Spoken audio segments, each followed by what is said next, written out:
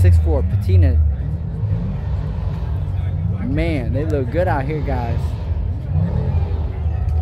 Yeah. Got the patina up there. I like it, man.